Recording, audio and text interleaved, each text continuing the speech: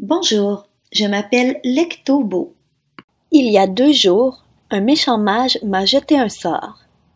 Depuis, je ne sais plus lire, j'en ai aussi perdu toutes mes couleurs. J'ai besoin de ton aide pour retrouver mes couleurs et faire ma lecture. Peux-tu m'aider à décoder ces mots et à comprendre ce qui est écrit? Suis-moi, c'est par ici.